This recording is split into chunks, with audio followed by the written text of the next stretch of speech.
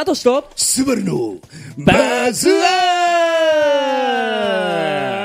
ップ Yo! What's up, ladies and gentlemen? レインボータウン FM をお聞きの皆さん、こんばんは。レノチェルです。皆さんこんばんは木村昴です始まりましたファンファンサーズデーバズアップの時間ですよいや、もうキャラ変わった。すぐ変わったね。え？すぐキャラ変わったね。いや今日はこういう感じでやっていこうかなと思って2秒くらいで終わったじゃん。いお願いいたしまや、す OK です。毎週月曜日から金曜日の午後11時から30分間、レインボータウン FM にて放送しておりますラジオ番組ファンファン。木曜日を担当しますのは、僕たちバズアップでございます。ポウポウポウポウポウポウさあ今日もですね木場のレインボータウン FM スタジオより生放送ででお送りしておりますうんしどろもどろいいよ。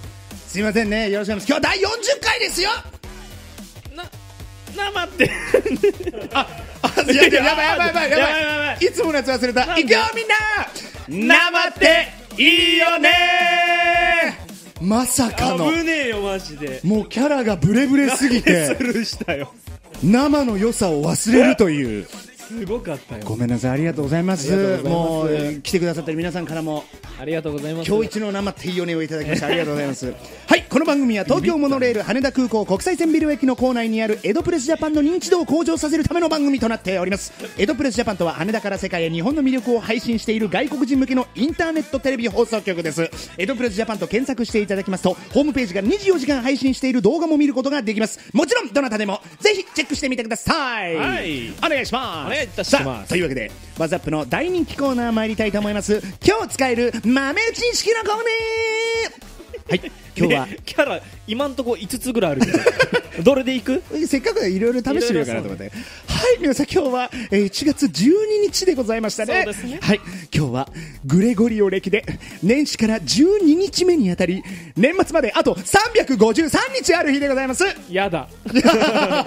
やだ。いいですね。まだまだありますよ。まだまだです2017年、まあ始まったばっかですからね。はい今日は何の日だったかと申しますとお、スキーの日なんですスキーって。の日ですね。スキーはスキーですか？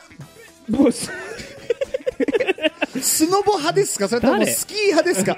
僕はスキーが大好き。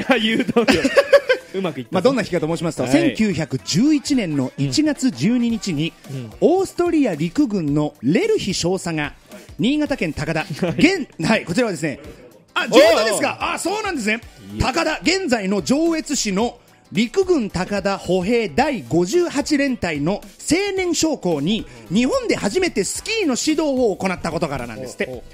これもじゃあもうこの新潟県の高田の人たちみんなこれはもう知ってる話なんですか？あ有名な話なんだそうですよ、つまり何その、まあオーストラリアオーストオーストリアか。オーストリア陸軍のレルヒ少佐という方が日本で初めて広めた、まあ、広めまあ、たという。ここでも指導を行ったということですが、この1月12日にこの指導を受けたこの、えー陸軍高田歩兵第58連隊の青年将軍さんたちうん。がもう日本で初めてそのスキーの板を履いた人たちってことです面よ白いですね。どうですか？スキーってします？スキーね、あのまあ、年齢がいって、うん。スノボをするようにちょっとチャラ チャラくなりだしてスノボをするようになったんですけど。なるほどね。でもほらわかると思う、俺とかスバルのさおかんってスキー世代じゃん。スキー世代。でしょ？お母さんにずっと教えてもらってもうゲレンデデでゲレンデそう絶好調の人たちでしょ？そうそうそう。いやまあそうだけども。そう。でしょ？だからスキーを教わってえ教わってなかった？僕ね僕のおじさんがねもうソリ。スキーヤーだから。ソリーヤソリーヤなんでソリなんでここでソリ出てきた？ソリではない。スキーヤサンタかお前は。すいませんでした。違うでしょ？そうスキーの、をすごいやってる人で、僕ちっちゃい頃からこう教わってやっていて、ドイツでスキーは盛んですか？多分そうなんじゃない？もう僕ね、いいなそのドイツでね、スキーを習う前にもう日本に来ちゃってるから、あそうかそうかそうか。そうなんだよね。でもヨーロッパはスキー盛んよね。なんかそんなイメージありますよね。うんうんうん。うんなんかオーストラリアにアルペン、アルペンスキーっていうのがあるじゃないですか。はいはいはい。アルペンスキーの本場だそうですよ、オーストリアってのは。へー、ためになるね ということで、明日、1月13日、これは何の日かと申しますと、これ、ピース記念日っていうんですって。どういうことかと申しますと、ピース記念日イコール、まあ、タバコの日なんですって。なるほど1946年の1月13日に高級タバコのピース。はありあるじゃないですか、あのピースってタバコ。高級タバコなのね10そう。の10本入りが、7円で初めて発売されたことに由来して、やばくない？びっくりするだけなんだけど日本で、タバコが初めて発売された時の値段、7円だよ。7円そんな前じゃないぜだってそうだね、46年、9 1946う年。ん。6070年前ぐらい。まあだから今、まあこの物価も違うから、まああれですけど、まあだけどもよ。まあ7円すごいですよね。7円ってお前。まあ明日はせっかくタバコの日ですので、逆にタバコを吸わないでみるっていうね。禁煙してみる。もうタバコをお吸いの方は、ちょっと、まあ、お物思いにふけながらタバコを吸わないでみるなんてのもちょっとありなんじゃないかなというふうに思っております。はい、ということで今日使える豆知識のコーナーでした。それじゃあ、早速今夜も生放送でバズトクもちろんっしょサトシとすべりのバズワーポー。はい、さあ、始まりました。いやいやいやいやちょっと。はい、僕はね何ですか？言いたいことがございます。なんでしょうか？言いたいというか、うん。最近ね、うん。僕ちょっと昔やってたことをうん。またやりだしたんですよ、何？あのなんか昔ハマってたことありません？めちゃめちゃあるよ。めちゃめちゃあるでしょ。あるある。そのうちの一つをうん。またやりだしてしまいどうにも抜けられない日々を送ってるんです。ね何？ちょっと気になる。ちょっと、うん。それ俺初耳ですよ。そう。何？本当にえもう一言で言うと、ん。ゲームしてるんですね全く想像つかないわ。で俺は今でこそさ、うん。スバルが携帯ゲームやってると、うん。ね俺と話しながら、うん。俺の目の前で わかります？こう目の前でうんうんうん相づち打ちながらゲームやってるんですよ。つむつむね。お前マジか お前マジかと思って携帯でゲームなんてやるなと思ってたんですけどちょっいやと、まあ本当めちゃめちゃディスるんですよこいつ。いやもういたら目と目を合わせて喋ろうよって思ってるんですけど。いやいやまあまあまあまあまあわかるわかる。確かにたそうね。だただ年が明けてちょっと時間ができたタイミングで、うん。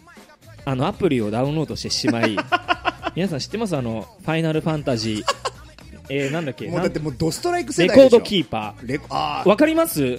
知ってます？ドラクエとかうん。ファイナルファンタジー、あうん。まさかハマると思わないじゃないですか、うん。俺5時間ベッドから動かなかった ドハマりしてるん。やいややばくて最近もう暇ができたらゲームしてるんですよ。そのうちあれでしょ。ツイッターとかにさスクショばっか上あげるようになるでしょ。するするする自分の今のステータス上げたりする 誰にも響かないであろう。いややってる人には響くかもしれないけど俺は全く分かんないから。まあ、多分想像つかないと思うんですけど僕、うん。中3までうん超ゲーマーだったんで、へえまあ、ゲームそうねやってなかった僕はよね逆にね子供の頃全くゲームやってこなかったうんうんからうん。あ今だから今やってる今やってるのよ。でちょっとあのこれリバイバルな感じでうん。始めちゃうと、うん。マジで何もしなくなるからあそう。みんな気をつけて。何そっちの話？そう。みんなやめとけよって話えまあでもやってほしいんでやってほしいしそういう話をしたいんだけど、ん。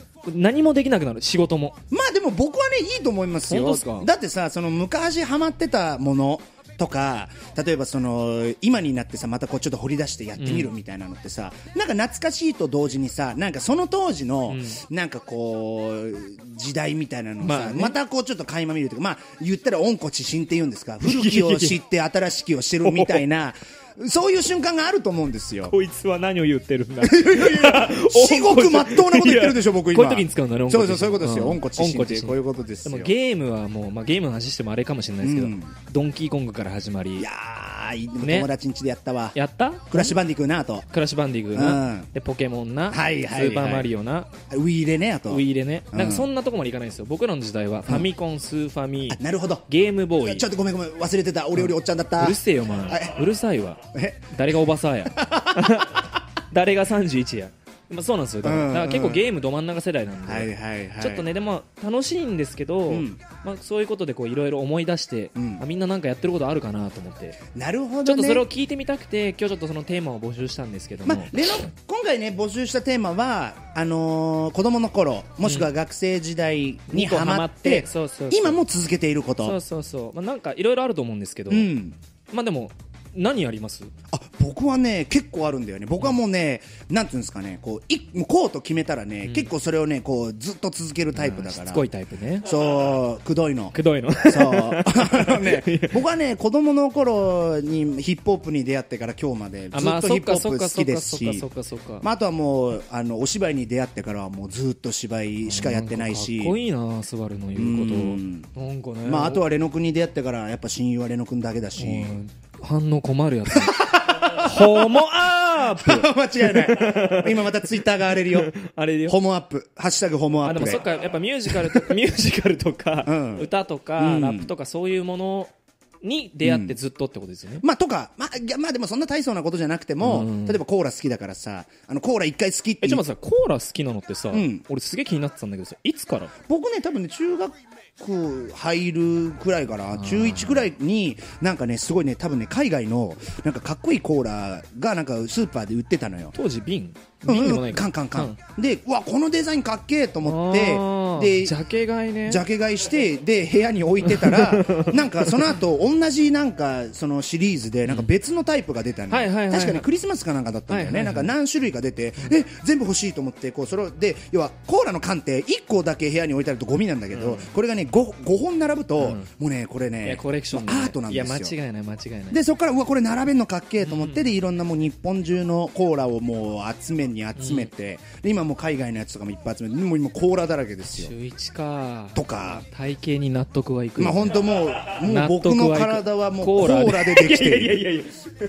コーラになりたい、コーラになりたい。うん私はコーラになりたい、うん。コーラの CM に出たいとかじゃなくてコーラになりたい。やもう俺さこんだけさコーラ好きってさ、まああんまこの番組ではまだそんな言ってないけどさもう僕コーラ好きって、まあ日々言ってっからね。そうだよなんだけどさコーラの CM が来ないんだよ、ね、いやいやいやいや。まあコーラになりたいわけだからね。まあそうなあそっかそっか、うん。コーラの人がスバルがコーラになる過程の CM とか面白そうじゃない？体から抽出してさあのもしコカ・コーラ関係者の方が聞いておりましたらぜひお願いいたします袋の中からうん。こう抽出したものがコーラだったみたいな。やだよ飲みたくねえわ。誰が飲みたいんだよそれ。それ夏場に CM 流したら誰も見ねえ。もう誰も飲まないでしょそれ。はいすいません。あスバルのお腹からできてんだっつって。まあでも中1からは中1からハマったと。とか、うん。僕でも本当ゲームあとカードゲームとか。なるほど。どうです？なんか遊戯王とかポケモンうん。またポケモンなっちゃういやいやいやでもうん。とかなんかましやったことない？あのねちょっとねやるんだよね。マジック・ザ・ギャザリングとかは？知らないちょっとね聞いたことあるけどねわかんないんだよね。うあ違うちょっと違う。なんかね僕ね得意なものと不得意なものをなんか知るために全部やるのよ一回、ん。でもうダメだったらもう速攻でやめちゃうのよ。だからポケモンカードも集めたし遊戯王も買ったけど、もう全く分かんなくて、すぐやめちゃったし、でたまごっちもお母さんに買ってもらったんだけど一回死んだらもう次もやらないし みたいな。あハマるなんかきっかけがあるのかな？んかこう好き嫌いはやっぱあるじゃんそれぞれさ。ななんか育てるとか好きじゃないでしょあんまり。あんまだね時間かけるのあんま トントントンってやりたいからでもレノ君がなんかそのゲーマーだってのはね僕はね意外なんですよ。俺多分家うにん遊戯王カードいまだにめちゃめちゃあってそうなんだ。わかります？あのキラーカードみたいな。はいはい。あったよね。なんかさあの4枚くらい重ねて1枚のカードになるみたいなさ。エクゾディアね。わわかんねえか。いやわかる。みたいのやっててでいまだにカルボナーラとかいなかったっけ？ちげえよ。なんだっけ？お前適当なこと言ってんじゃねえよ。そんなカードなかった音じゃねえ。なんだよ。カルボナーラだ。カルボナーラだっけ？なんかさ何そんななんか紫っぽいカードでさうん。カルボなんちゃらみたいなもう却下。全然わかんない。俺のね遊戯王知識はこんなもまあんです。よでもなんかすごいわでもやっぱ。いまだにだからうんそのこの前も探したらこうちゃんとシートに入って並べられてちゃんとブックになってるやつ。あれ売ったらすごい額になるものがあると思うんですよ。あなんかいろいろ限定でついてくるじゃないですか。なんかあるね。うん。まあコーラじゃないけどうん。買ったらついてくる付録をはいはい。集めてマジ何十万使ったか分かりません。そうなんだね。だからでもそういうの。ちょっと引っ張り出してきて教えてよ。これいやちょっとば絶対興味ないでしょ。うんないけど。あじゃあちょっと二人でやろう。遊戯王。それやってみたいわ。うん。召喚とか言うんでしょ？そう。違う違う。ポチ違う違う。デュエル。あデュエル。デュエルね。ちょっと待って。薄いよ顔。デュエルデュエねルね僕もね一回ねあのそういうカード系のアニメに出たことがあるんだけどね。そうですよやっぱやってみないと分かんないねカードゲームね、どうなのそれやってみたの？そそのタイミングあもうやってみたよやってみたよ。でだからちょっとそのまあ、ざっくりとした知識はもちろんそれで入れるんだけどさ、なんかその集めて実際にその集まって試合みたいな、もうっていうところまではいかなかったけど。うんうんなんかハマらないんだねそういうのにはね。そうなんでカードってね。なんスバルがかっこいいと思った、まあ、ジャケ買いじゃないけど、ん。にかそういう感性に響かないとやらないのかもね。うーん。ちょっと違う。いやあなら並べたいんだよね多分僕は。そっか。癖として。育てたいわけじゃないの、うん、癖として僕はねやっぱコレクター癖があるから並べたいんだよ。並べてみたいっていう。でカードってさもうこう束になっちゃうじゃん。それ一枚一枚が見えないじゃん。が多分ダメだったんだと違うもん。本にするんですよ。なるほどね。それでも戦えなくない？戦えないデッキとそのコレクションはデッキとかは知ってんだね。あギリね。あギリね。でも多分僕の時代っていろんなキャラクターがそれそれこそ「ドラゴンボール」とかはいはい。いろんなアニメ、うん。アニメになる前の漫画のジャンプの世代とかにコロコロとかはいはい。が全部キラーカードとかこうカードになった時代なんですよ。うーん。だから多分ハマった人多いんじゃないかな30あぐらいの人。今になってまたやってみるとちょっとまた昔と違うこう違う面白さが見え違う違う。てさアニメとかもそんななかったし、うん。今ほど。なんかさ子供の頃には気づかないけどさこののデザインやべえとかさこの配色とかこの画角やべえみたいなのがさ多分あるでしょいやあるあるある。絶対そん時それ誰かみんな今度ファイナルファンタジーやりましょう。いやいいね ちょっとレノ君とファイナルファンタジーを超やりたい。ぜひですよ。これ多分俺終わんないから、うん。もうこの話やめるそうだねこのぐらいになんかお便り来てます？なんか結構来てるんですよ。なのでちょっと紹介させていただきたいと思います、こちらいきますよ、えーバズネームシバリーからいただきました。縛りスブラさん、サトシさん、こんばんは。こんばんは。私が子供の頃にハマってから今も続けていることはアイドルの応援です。は父親と姉がモーニング娘。にハマっていたことから私も一緒に応援するようになったのですが気がつけば15年近くハロプロのアイドルにハマっています。すごいね。今は姉と2人でコンサートに行ったり動画を見て騒いでます。だってえそれはねモーニング娘。じゃなくてもそのハロプロの方々を応援するってこと？まあ、ざっくり多分あこのハロプロなんでしょうけど、まあ、アイドルの応援っていうから、まあ、他にももしかしたらいるかもしれないけどさ。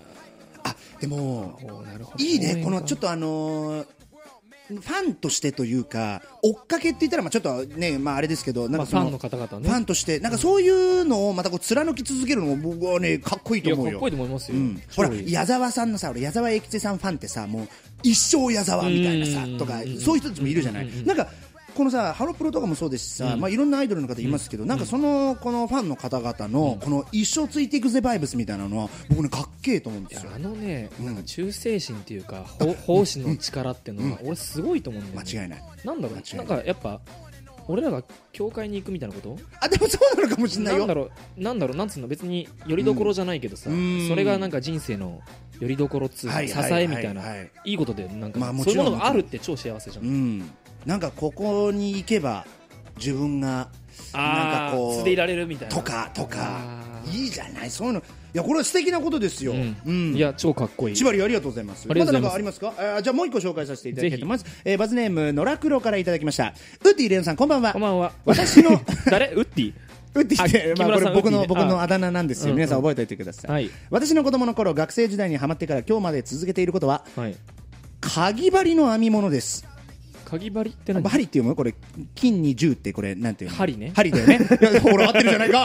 かぎ針の編み物です。はい子供の頃、おばあちゃまに教えてもらってからハマって、ずっとハマっています。うんうんうんただ、け毛糸が、ただ毛糸が自分の手元で帽子やマフラー、レースのショールなどに変わっていくのは快感でしたって。はただの、あ、ただの毛糸が、なるほどね。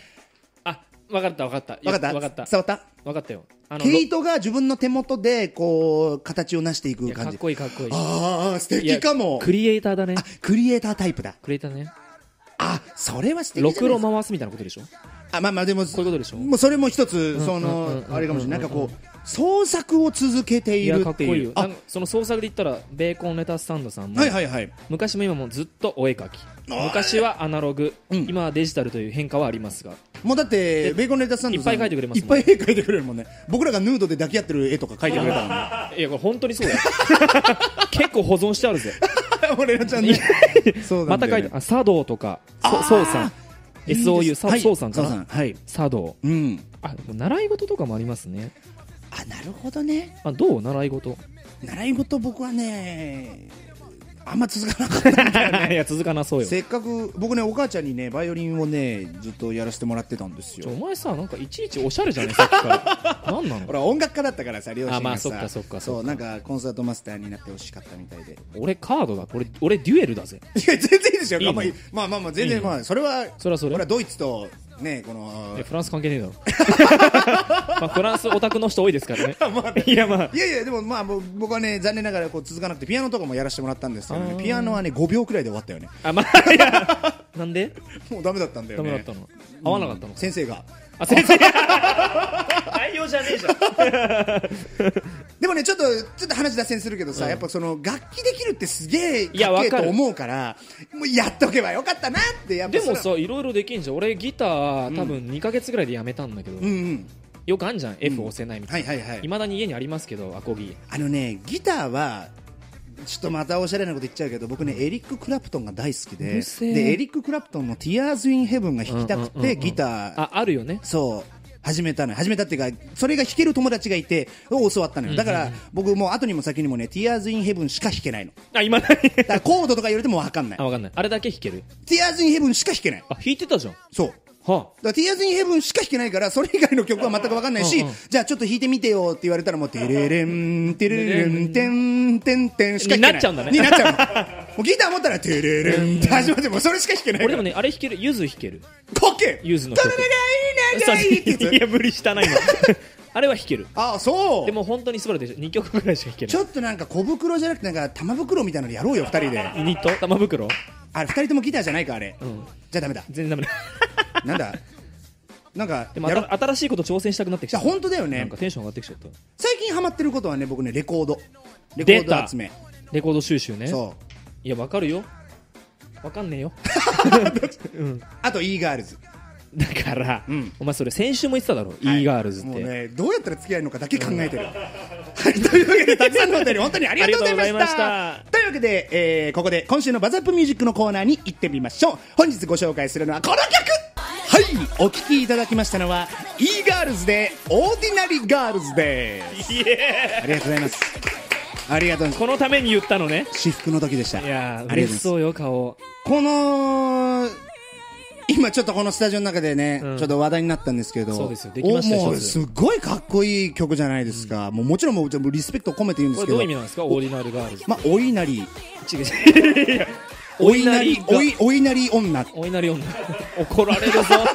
怒られるぞ。彼の前ではお稲荷がやばいやばいやばい。やばいまずい遠のく遠のく。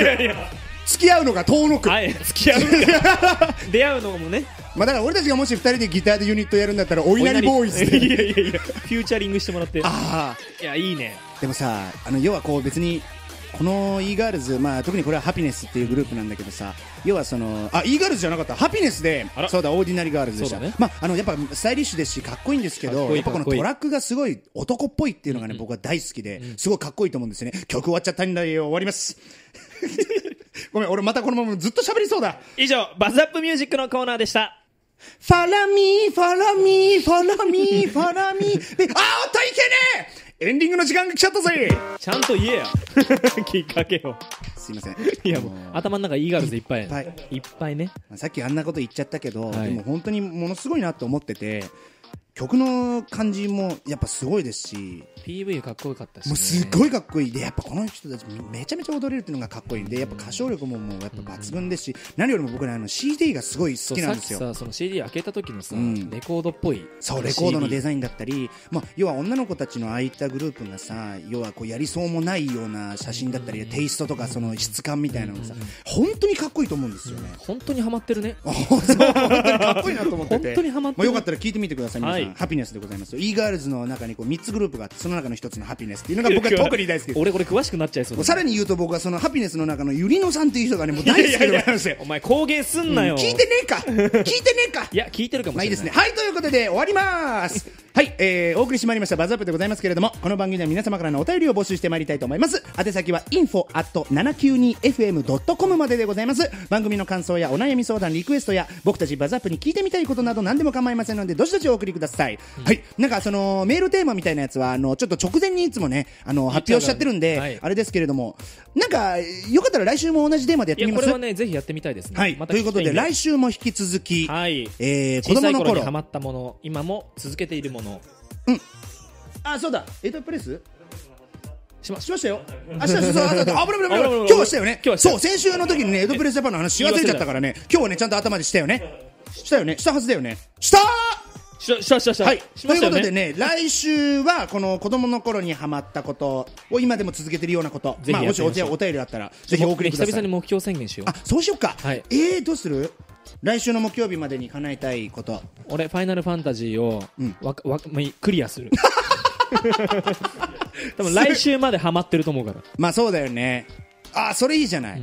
俺は、あの、つむつむの、今やってる、あ ちょのっとうん今ね、そのイベント中なんだけど、そのイベントをクリアする。お前もゲームかうん。じゃあ2人でそれを発表しよう今、すげえ難しいんだよ、今のイベントやったことないやって、積んでつ。あのね あの、つなげて？すっげえ難しいからね。だからスキルチケットやっぱゲットしたいからさ。ス。キルチケットうん、ちょっとね、頑張っていこうと思俺います。もオーブ集めるわ、いいねお互い分かんない感じがいいねはい。本日のバズアップをお聞きくださり誠にありがとうございました。明日が皆さんにとって良い一日となりますように。そしてお車でお聞きの皆さんはどうか安全運転で、はい。それではバズアップまた来週のこの時間にお会いいたしましょう。お届けはレノサトシと木村昴でした。バイバイ